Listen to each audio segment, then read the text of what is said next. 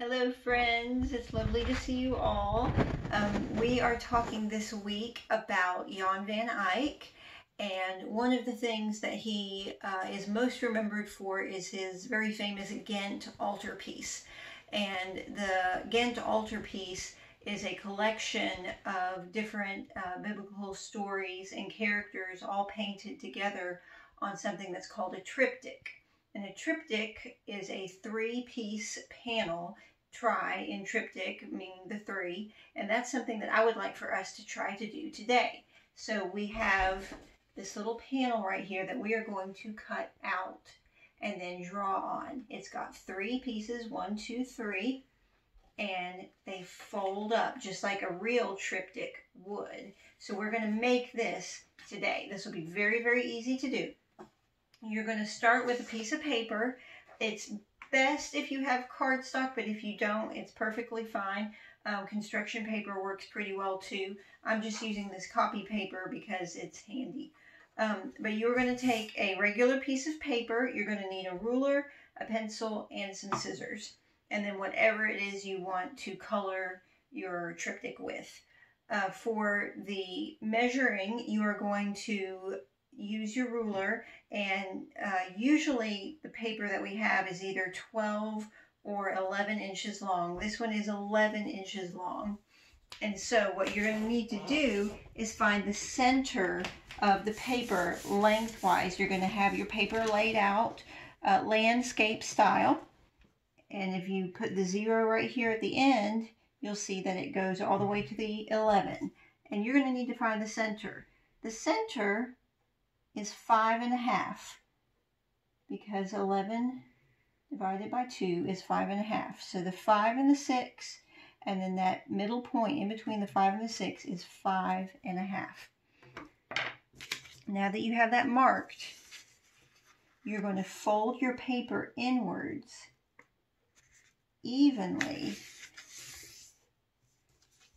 so that it stops at that center point. You're going to do that on both sides.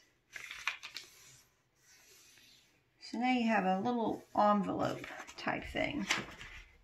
And this is fine and dandy, but we want to give it a little bit more flair. So what I'm going to do is measure down from the top three inches. It can be any amount that you want. I'm just choosing three inches because it's a nice even number. I'm going to put a little mark here on the fold, the right fold, and I'm going to put a little mark here, three inches down on the left fold. And from there, I'm going to take my scissors and I'm going to cut from that point, three inches down, to the center, keeping my uh, triptych closed the whole time. So now I've gone to the center and here I'm going to do the same thing. So now we have this neat shape that we can open up. It kind of looks like a crown when you open it up this way. But now you've got your blank canvas to create your triptych with. So what I want you friends to do with this is maybe do a story because triptychs usually told stories, um, a beginning, a middle, and an end. If you want to look at the Ghent altarpiece as um, an example, there are actually several others out there. Uh, Hieronymus Bosch made a few. Um, a lot of people in the early Renaissance era made these triptychs.